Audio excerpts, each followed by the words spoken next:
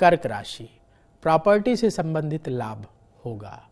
पूरे उत्साह से काम करेंगे। कहीं से शुभ समाचार मिलेगा।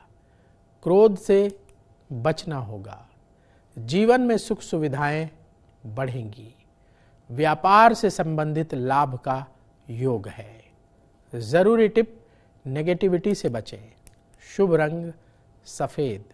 उपाय, किसी गरीब को भोजन दान करें।